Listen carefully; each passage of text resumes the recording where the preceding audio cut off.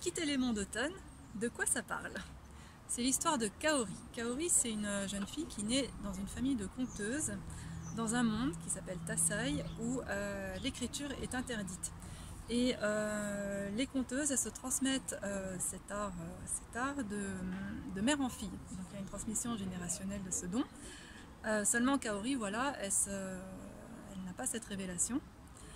Et du coup, elle est orientée vers une carrière de danseuse. À la mort de sa grand-mère qui dirige la troupe, elle découvre dans ses affaires un rouleau de calligraphie, euh, qui est donc un objet tabou par excellence.